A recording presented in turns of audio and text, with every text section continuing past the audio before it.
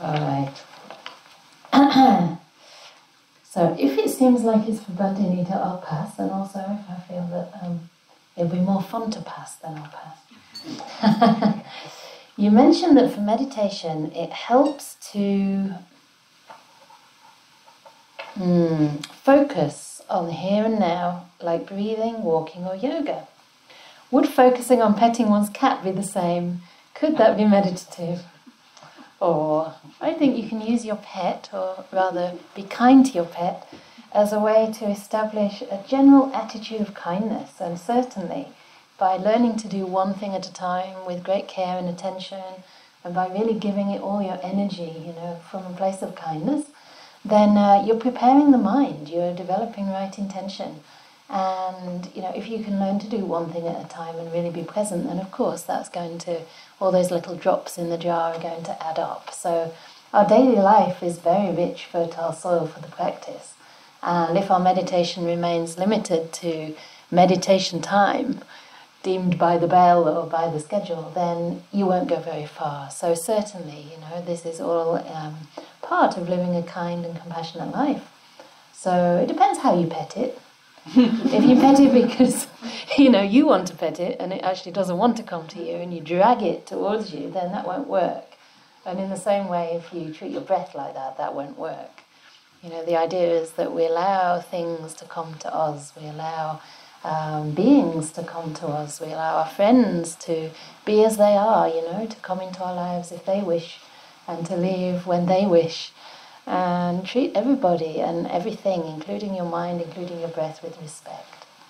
So, certainly, if we can develop those kind of intentions and ways of relating to, first of all, our pets, and some people use pets even as objects of their metta meditation.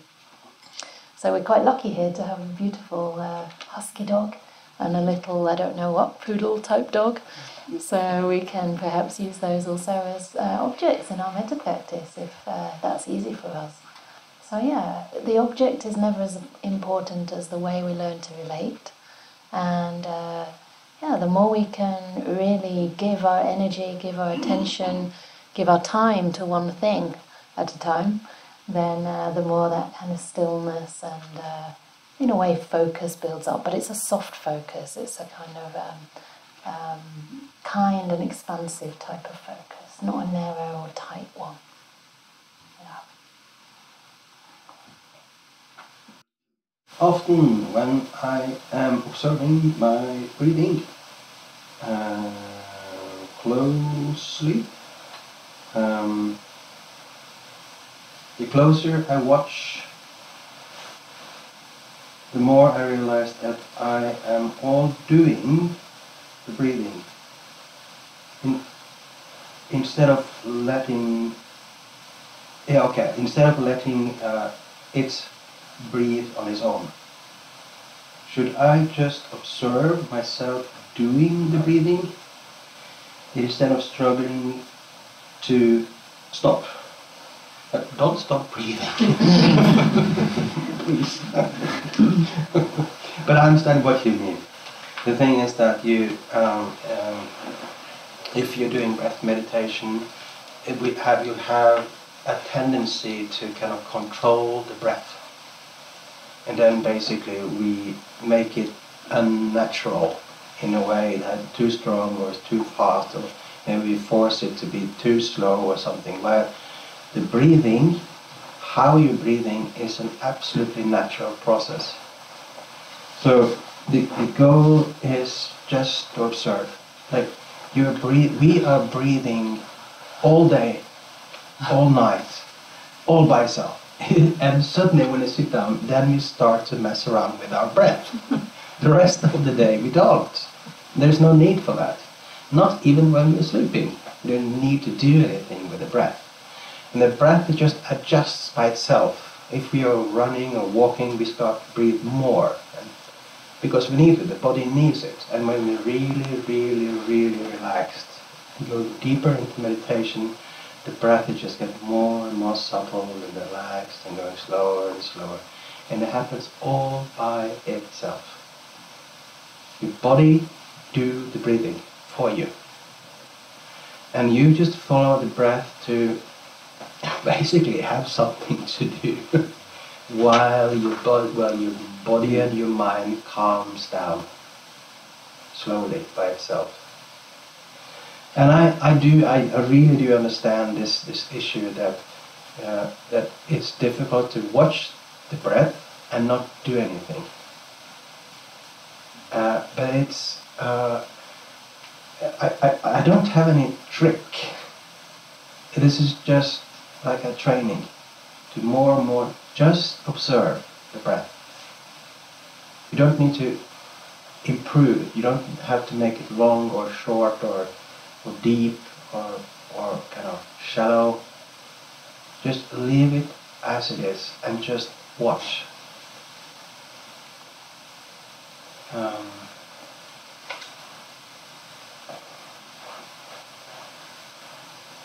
should I just observe myself doing the breathing? Yes. Try that.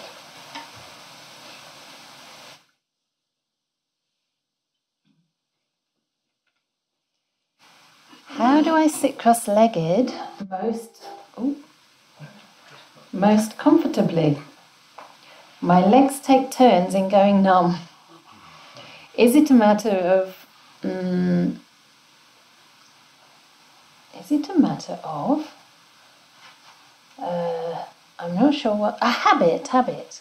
Thank you. Sadhu times three. With a big smile. So that's great that your legs are numb and yet you're still smiling. Wonderful. At least your smile is not numb. Your face is not numb. So uh, yeah sometimes it can be a matter of habit. Uh, I started practicing when I was really young and I guess I had a bit of a gung ho attitude anyway because I found it all quite fascinating and I wanted to push myself a little bit.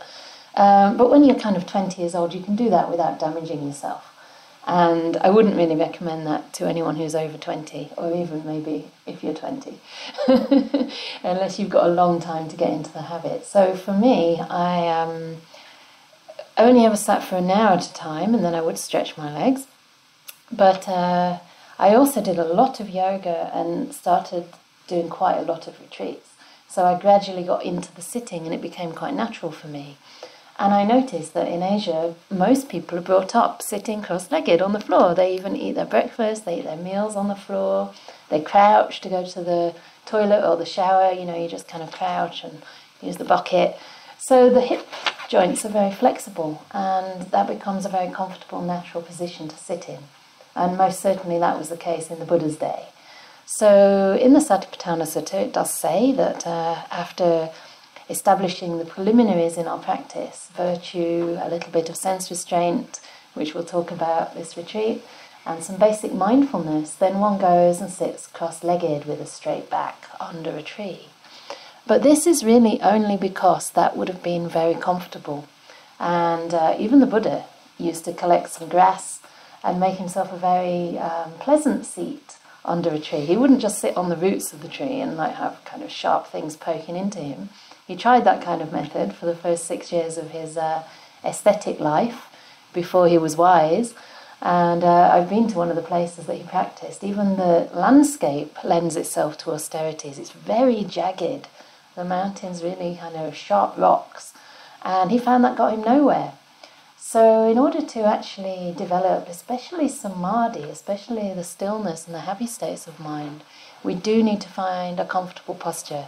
So, see if you can find a balance between sitting cross legged for as long as it feels easeful for you, sometimes perhaps exploring, you know, the numbness and not moving immediately just out of reactivity, but being kind being compassionate and if you find that you know it's just not comfortable and you're getting obsessed with that it's distracting you from your meditation then try and uh, adjust your posture. You can do it even during the sitting by just recognizing the intention to move recognizing that you're doing it out of compassion and moving very very slowly and gently and you'll barely disturb your mind.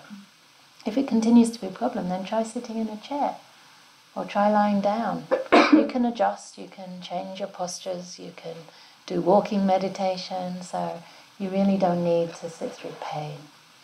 And uh, sometimes the numbness isn't really harmful, isn't really painful, so it can pass on its own. You know, you might just want to see what works for you. What is the mental action that corresponds to putting the glass of water down on the floor so that it can fall into silence? That's a no mental action. You're asking what is the mental action? The answer is no mental action. Um, of course, you're supposed to be aware and be conscious. But the whole point of that demonstration from this Ajahn Chah and this our tradition is that uh, you're not supposed to do any mental action. That's that's that's kind of it's difficult in the beginning, but after a while you learn to just watch and let things happen. Um, we call it letting go, letting be, and and basically it's a training. And I said this morning that one way of letting go, like the result is letting go, but the, the method can, for example, be kindness. So if you want an answer like a, a mental action, mental like kindness has this um, um, kindness creates this stopping of conflicts, stopping of, of activities, stopping of quarreling and disagreements.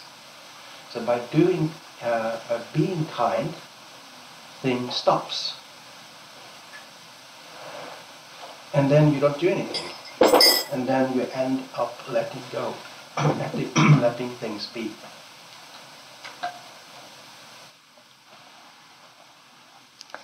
Is there any effect meditating with the palms up or with the palms down? no, unless one is painful and one is pleasant. There's, I don't think, any effect. Maybe it affects your shoulders, um, but it doesn't really affect anything else.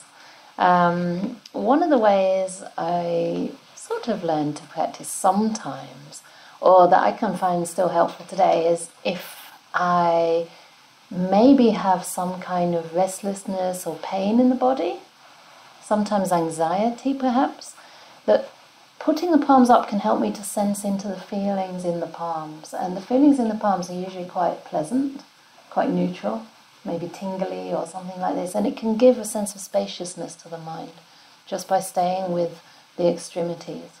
Sometimes that can help, but I mean, there's actually nothing in it. I mean, if I do that, it's just because of my shoulder.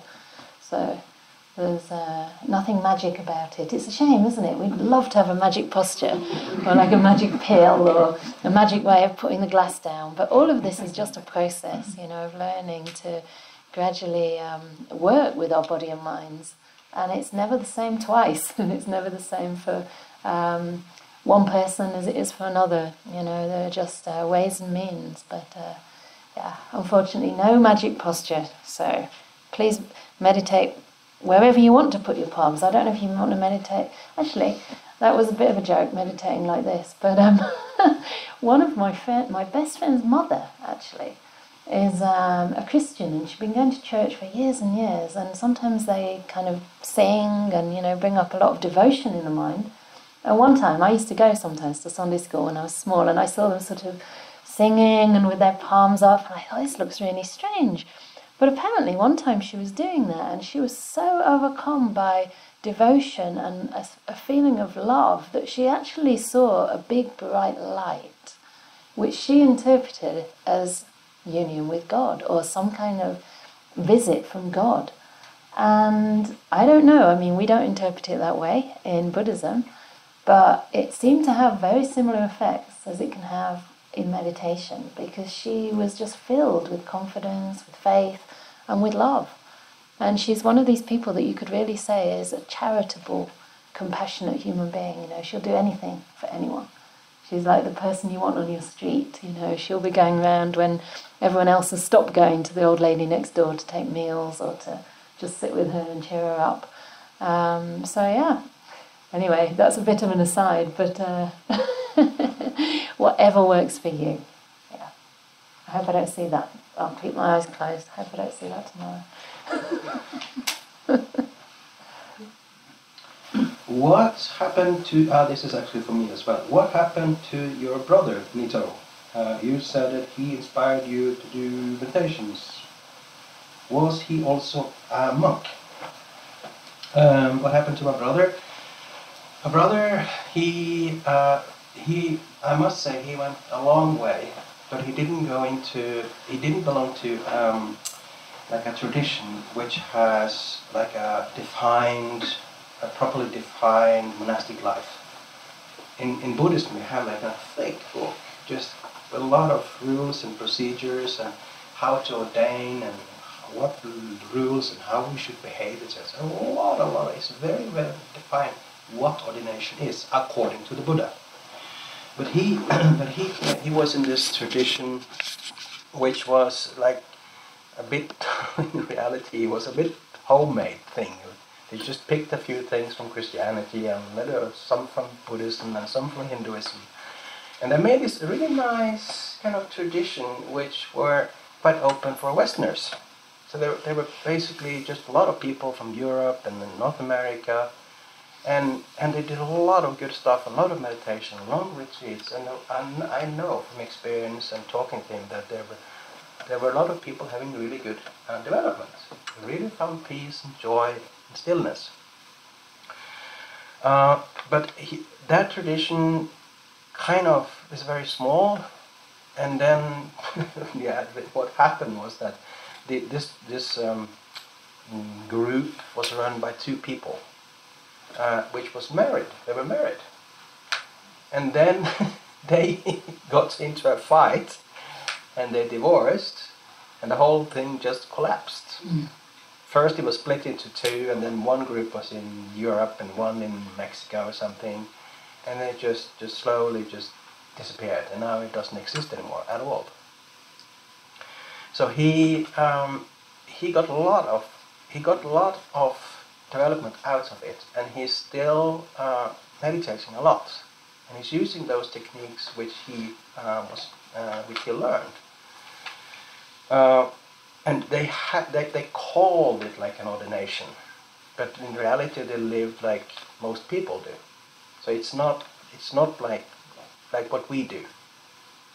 Um, and uh, so he didn't uh, kind of ordained like I've done, and now he's just he's living in, in Oslo, and he has a family, and he's working as a lawyer, as a partner, a nice life in Oslo. But um, um, for him, uh, spirituality and development ended up like uh, something he do uh, combined with a absolutely normal, nice life. He doesn't do that full time, like, like I do.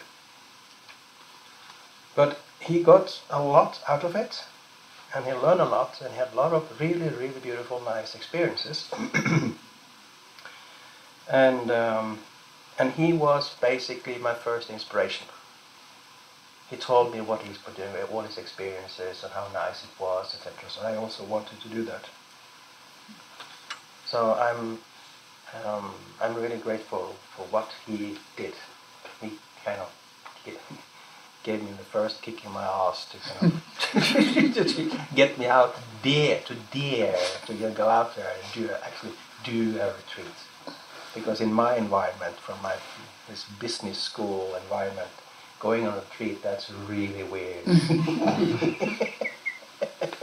At least 20 years ago. I don't know how it is today. So, yes, that's what happened to him. Is he your big brother or a little brother? Sorry? Is he your big brother or little? Yeah, a, a little brother, yeah. He's your little brother? He's yeah, two oh. years uh, younger than me. Okay, this looks like a poem. This is sweet. This means that some joy is coming up if you start writing poetry. Morning teaching. The peace and happiness inside. I want to catch it, but it just hide. Today I had a teaching, and now I know you can only find peace and happiness by letting go. Mm. if you still need to do it, to act, add kindness, it will have a huge impact. To all of you with an active mind, just remember be kind. That's really nice. That was really well Oh, maybe I answer a question anyway. Yes, please do.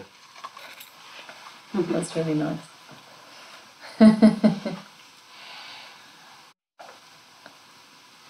Probably put that on our webpage It's really nice. Yeah, yeah. if it's allowed. When I meditate in day to day life, I'm, I'm reading it like a poem, sorry. When I meditate in day to day life, when not on retreat, I find it may take about two hours for my mind to find some ease. Seriously, it rhymes. So, so far on retreat, it feels this way in minutes. Mm. Any recommendations for the causes required to perhaps find this ease quicker in day to day life? The cause for that is this retreat. Very easy. it's all about practice. So, by being on retreats, you're conditioning your mind to remember how to find that ease and to become skilled in that. So, really, it's the practice, it's the continuity that uh, is the best um, prediction of success in meditation. It's uh, just um, learning the kind of happiness that's really worth pursuing. And I'll talk about that tomorrow. But it's very, very different from the happiness we get through the senses, the happiness that's uh, a stimulating, kind of exciting, even agitating happiness. So see if you can just really enjoy whatever ease you have during this retreat without trying to grasp it. That's really important because then it's not easeful anymore. You know, the ease comes up when we uh, just let things be and we become easy and easeful with whatever arises. Um, so this is the practice, this is the training ground, and I would just say um, keep practicing and see if you can expand that sense of ease to whatever mental states arise. It doesn't mean that because it's been easy so far, it'll carry on to be.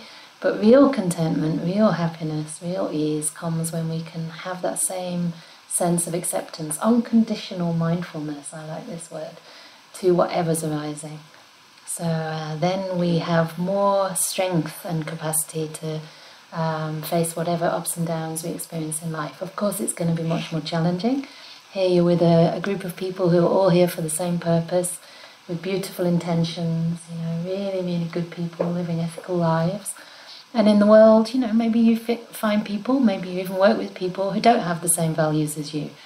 But um, if you can have that ease and compassion inside, then you might find that rather than being affected adversely by the external circumstances, you actually become a positive influence for the people you're around. So, this is uh, your training ground, and you've got uh, seven more days.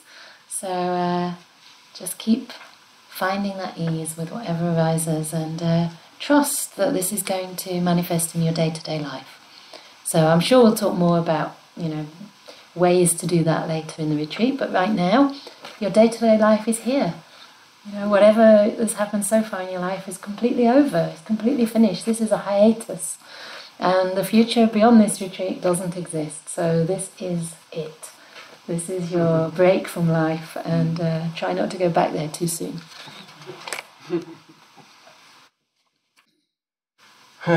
Where can I read about the Eightfold Path? Yeah. Uh, of course, you can read about the Eightfold Path in the original teachings of the Buddha, which exist both in Pali and uh, Sanskrit language, translated into English. Um, I um, um, I have this um, preference when when it, when it comes to kind of understanding the Eightfold Path is like theoretically, like to give like a nice presentation of what it is, not how to kind of practice it, but to get like an intellectual understanding. What is it? What did the Buddha teach? Then I very often uh, point back to Bhikkhu Bodhi and his uh, translations. And there's this book in, in the Word of the no, Mm-hmm. what is it in the Word of the Buddha? The blue one? Uh, No, I don't know, but in, in the Buddhist word, yes, in the Buddhist Yeah. words, yeah. and there's actually one called The Eightfold Noble Path by Yeah. Bhikkhu Bodhi Yeah. as well, a little booklet. That's Yeah. really good. It's really good, but it's uh, Bhikkhu Bodhi, yeah, Bhikkhu The Bodhi. Eightfold Path. Yeah. So then, that's the best recommendation I can give if you want to find the Buddhas. Closest we get to the Buddha today is in those books uh, by Bhikkhu Bodhi. But then mostly all teachers have their descriptions of like the Eightfold Path and how to practice it, including this this book from from Ajahn Brahm. He has like this uh, um, mindfulness, bliss, and beyond. Basically, the whole book is about the Eightfold Path, but mainly focused on on the uh, the later part of the Eightfold Path. But if I am to recommend something and you really want to go as close as possible to what we have of the Buddha today in Sanskrit and in Pali, then I recommend Bhikkhu Bodhi. He's living in, uh, he's a bhikkhu uh, living outside New York in uh, United States. Okay?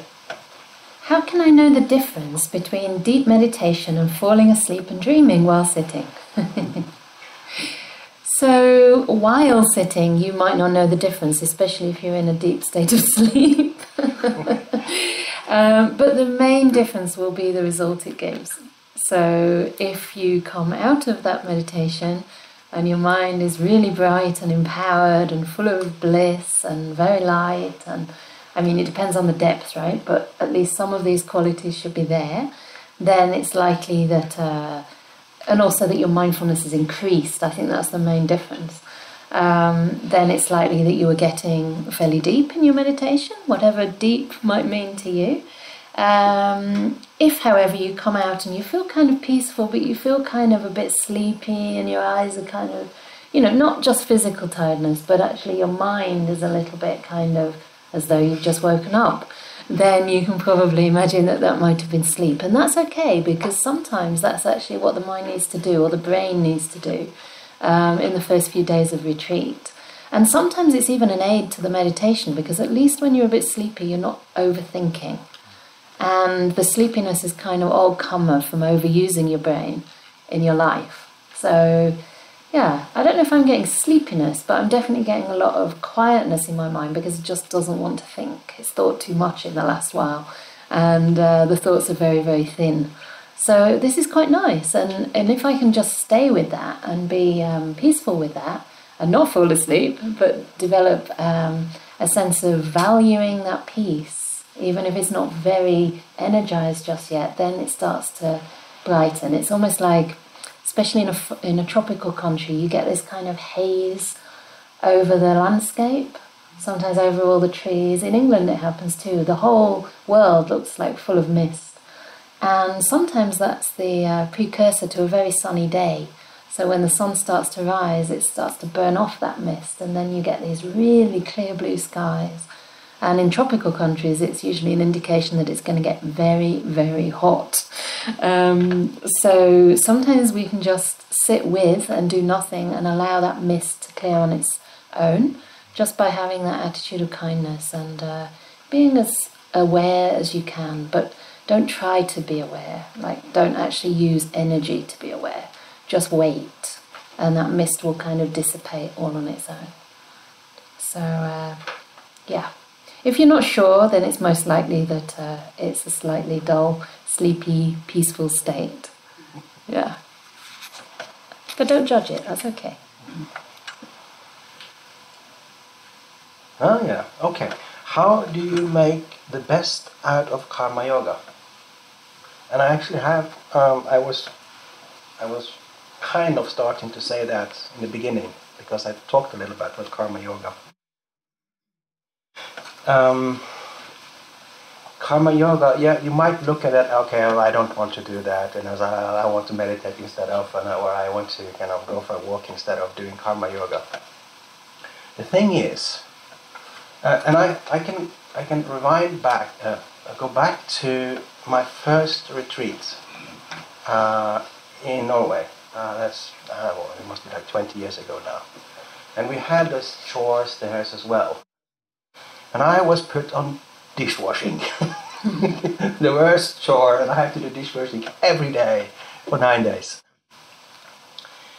Um, but I got quite good conditioning from my general even before that retreat. And I decided to um, uh, uh, try to, instead of looking at my dishwashing as something I don't want to do and it's boring, I don't want to do it. I turned it around and made it into giving and generosity and helping. I did my part of doing something so everybody can could kind of eat and it was clean and was nice. And and honestly, I remember one of the last days there, I, I was washing the dishes uh, and I, I, I, managed to make that into something beautiful, something really um, positive for my retreat. I was giving, I was serving, and I, my mind was just, um, uh, I was so happy washing dishes in the end. And I remember one of the last uh, days, I, I kind of, after dishwashing, I why am I happy washing dishes? What's going on here? How can dishwashing be a happy chore? But for me, it was a happy chore because I made it into, I looked at it as something positive, something giving, something generosity, something kindness. That was what, that's how I looked at it. So I made it into basically some kind of meditation. So that is how uh, you can make the best out of this karma yoga. That's my suggestion. Try to look at it um, mentally as something very positive you do uh, for everybody else. And also uh, for yourself. And then uh, you, you have like a positive spin on it, and you will not be just doing it with a grudge or with some negativity. You will be kind of, uh, you will, you will kind of uh, doing it with a smile. So that's my suggestion. Turn around your own perception of it. Don't look at it as something negative, as a burden. Because it's not. It's an opportunity to be kind, to serve, to be generous, and that has a positive effect on our mind. So whether it's vacuum cleaning or you're chopping up some vegetables, I, I basically I don't know what you're doing. Um, uh, look at it and try to have a positive perception of it. If I give my best but make absolutely no progress at all after eight days, it's still okay, right? yeah. Even though you can't measure whether you've made progress or not, so yes. Any outcome can be accepted, right? Wow, you're already enlightened, right? Very good. Yes, in theory it can, absolutely. And the thing is, if you can take away any sort of um, uh, pressure that you might otherwise put on yourself, then you'll have a much better retreat. The whole point of practice is to learn to accept whatever arises and to understand that it's really nothing to do with you. You know, we can try our best, we can put all our wisdom, all our kindness into something, but whether or not that has effects or when that has effects is beyond our control. I mean, my uh, conviction after so many years of practice and understanding the workings of the mind is that it always will have beneficial effects, but it just might not manifest in the way you think it should or at the time that you think it should. Um, so it's better not to have particular expectations or even ideas of what deep meditation might feel like or what piti sukha is. Even though I'll talk a bit about them tomorrow, they can manifest in so many different ways, and quite often we're looking for for our own idea of what something is. We miss what's actually there. So, yeah, one of the qualities of loving kindness is to learn to not only accept but actually embrace whatever arises and to widen that circle of what we can include, what we can embrace.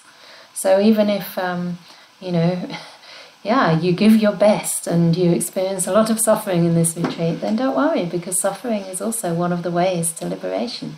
You know, the Buddha taught the Four Noble Truths and that suffering is to be understood. So if that's what you're getting on this retreat, wonderful. You know, you'd be having it anyway, right? You'd be having it anyway in daily life, but now you've got a chance to learn from it. So it's really a win win. If you're suffering, if you're unhappy, if you experience depression or anxiety or just lots of physical pain, boredom, that's like the worst nightmare for people these days, this is great, you know, this is where a path can begin because you start to understand these things and learn also a wise way of uh, relating, a skillful way to handle them. And if you're experiencing, you know, other emotions that are positive, that are joyful, you know, you find that you can be kind at least some of the time. I mean, it's easy to be kind when things are easy, right? That doesn't take a lot of skill, but to be kind when things don't go your way, that really is developing uh, wisdom, developing courage, developing compassion. And these things really count. So if you're having what you would call a difficult retreat, that's all grist for the mill, you know. This is all going to strengthen you in the long run and build your resilience, build your compassion to others who also go through difficult times.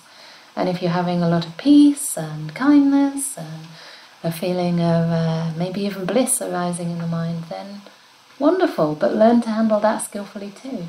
Not to get attached, not to um, kind of shine up your sense of self because you're experiencing wholesome states or uh, emotions that are agreeable to you because this is nothing to do with you either, it's just cause and effect.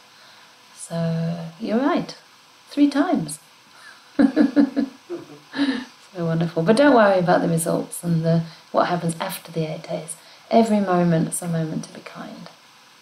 Every single moment that we realize, okay, there's a little bit of tightness or there's a bit of resistance and we recognize it, and then we can just soften. We can just relax with that. This is progress on the path.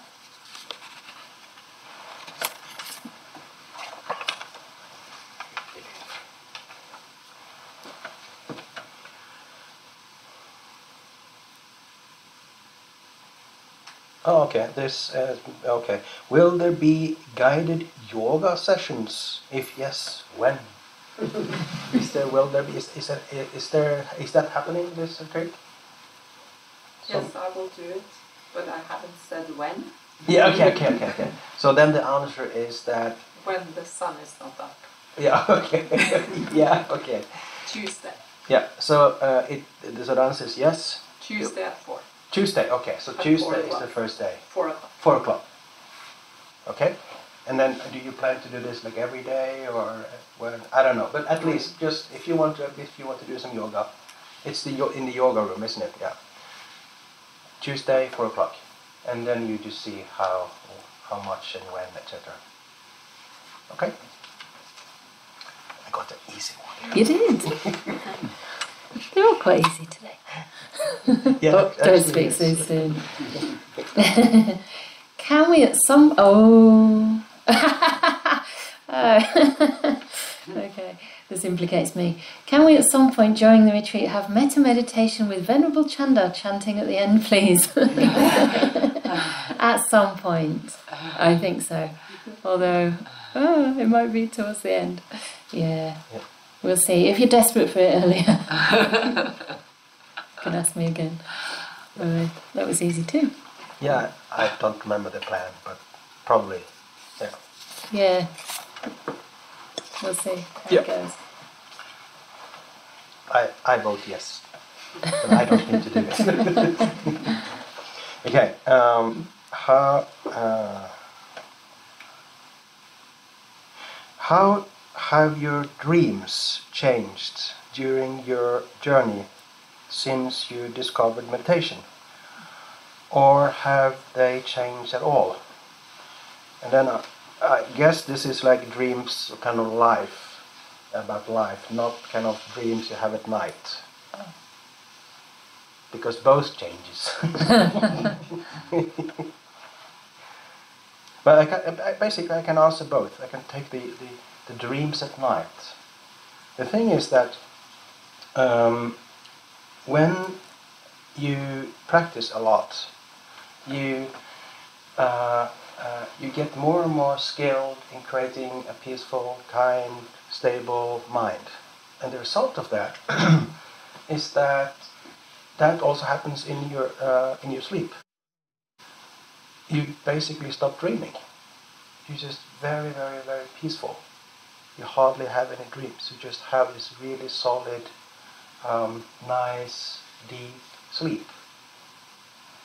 That's how, how I see it. And that's also the teachings of the Buddha. If you do a lot of metta, you sleep really well.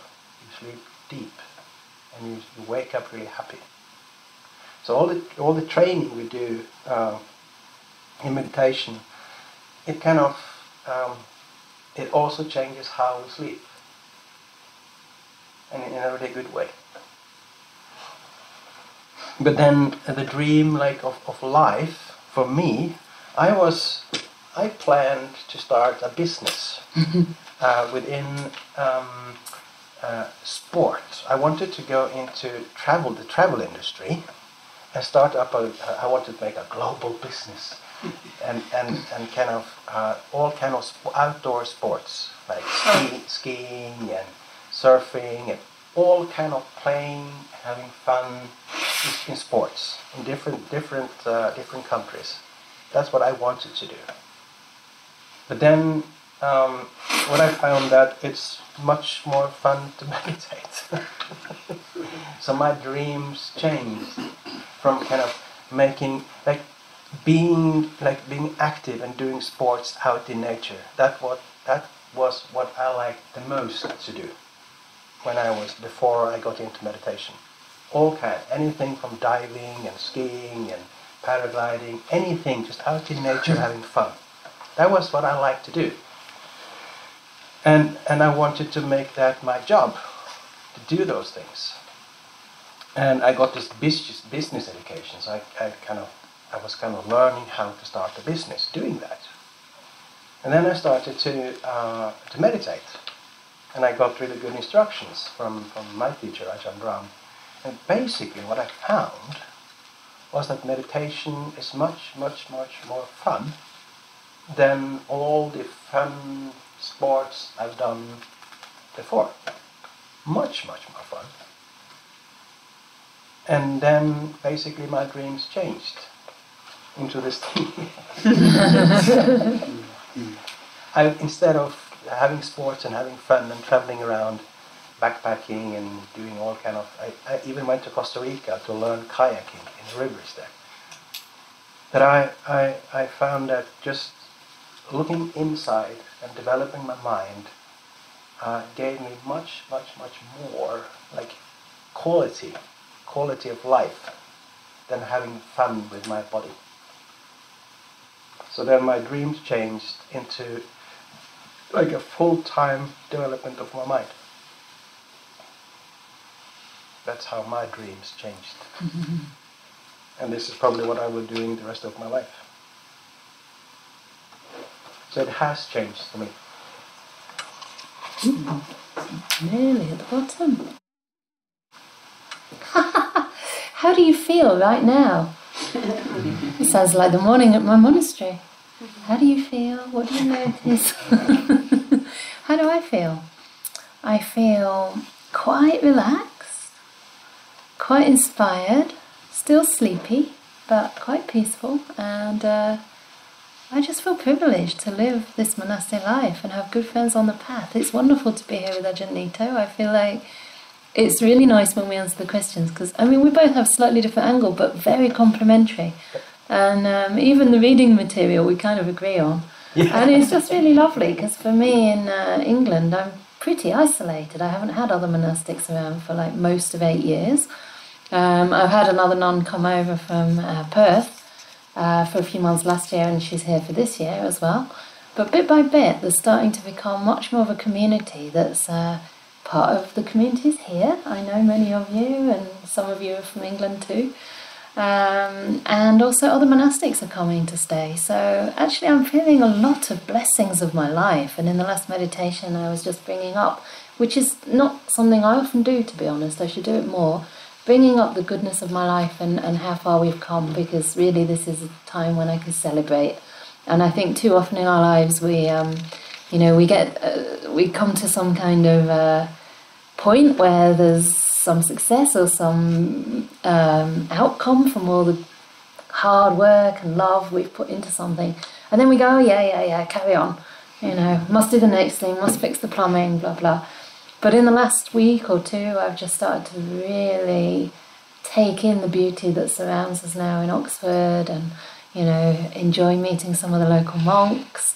And so this feels like an extension of that, and I feel blessed to have more time for my own practice here and also uh, time to practice uh, a lot of loving kindness towards all of you. So, yeah, I feel uh, sleepy, but also not concerned about that, and uh, and quite looking forward to deepening uh, the retreat together in the next few days. So, yeah, I think that's how I feel. Grateful and um, grateful, grateful and blessed. I even would say. Mm. Thanks for asking. No one ever asks. okay, last questions, uh, and we only have three minutes left, so uh, let's see. Can you give some examples of topics you have addressed in the course of private interviews in the past? oh. that's more or less everything. yeah. Some example topics you have. Uh, but okay, the, the th- those those interviews we're doing, and, and we're starting tomorrow. Uh, I think tomorrow four o'clock, and I think the, the, the the topics there. It's made for those. It's it's basically about your practice. Uh, like you're doing something and you're stuck, and like how do you kind of get out of this problem, and you have this issue, so which is kind of special for you. So it's not you feel maybe you feel that it doesn't. It's, no point of asking this in uh, for everybody, like in the evening. There's something there's something very specific for your practice, and you want uh, like a comment uh, from from one of the teachers on, on your kind of uh, situation and your your point in in, uh, in meditation. So th- those those discussion is about mostly they are about people's experiences in meditation, and you want some advice like how what do I do now? This happened. And then either it was either difficult, it's very funny, or it's very interesting, or very blissful. And what do I do now, and how can I avoid this, etc., etc. So that's what this, these interviews are for. It can be anything uh, about Buddhism, etc. But the, the point that why we're doing this is to give some guidance just for your particular uh, situation where you're kind of stuck.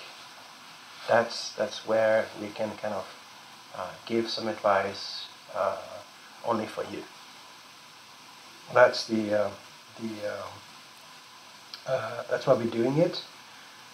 And, and that's the topic. It's meditation, mostly. Okay? We try to avoid kind of, like, I don't know, like counseling, like private life. That said, oh, I have this I have, I have, this husband, or I, I don't know. and, and, so it's a, we, we do this, like the counseling and the, the, advice you give, we give during this retreat. We try to focus on the spiritual part, the the, uh, the development, the meditation, the mindfulness, kindness, the eightfold path, etc. That's what it's for. So please uh, feel uh, welcome to come and uh, ask questions if you like. It's, it's there for a purpose. Okay? Now it's nine o'clock. Amazing. Amazing. bang on time. We, yeah. yeah. Just in time. Just warming up. Today. So, yeah, yeah, yeah. so more questions, please, for tomorrow. and then um, those who wants to, we have six o'clock. Yeah, and actually I have one question. Um, they have moved, the breakfast is now quarter past seven. And then we have a group meditation from six to seven. And I, I like this idea of just going to, going directly from meditation straight to breakfast. Mm. It's like you do one hour of meditation, then you have to sit like, oh, I have to wait mm. 15 minutes for, for breakfast. so I'm thinking, should we do should we change something? Should we have should we start quarter past six, uh, the group meditation, so then we do one hour and then we can go straight for eating. I, I like this floats, this direct float of meditation. And then now, yes, I'm meditating. Now, now I deserve my food. or, or, what do you want? Uh, how, how sounds you, good. What do you like? Any, uh, for those of you who Yes. uh, a few of you, quite a few of you are coming. It's just a suggestion. I think everybody's nodding. Everybody nodding. I'm nodding. Ah, you're nodding. Okay. so, so then we, we put it this way. Um, I will be coming at least like quarter past. You can come six, six, six. Uh, Come at four if you want to. Yeah, yeah, yeah. Come at three. I mean, Three o'clock, no problem. But, and if you like to come at six, you can. But then you can say that from six, quarter past six, then we, we sh- everybody kind of should be here, so we don't dis- disturb everybody else by coming late. But then come six if you want to, come quarter past six if you want to, and then you may I, I will kind of ring the bell, or one of us will ring the bell, quarter past six, and we go straight for breakfast. Is it okay? Yeah, let's do that. Cool. Have a nice evening. good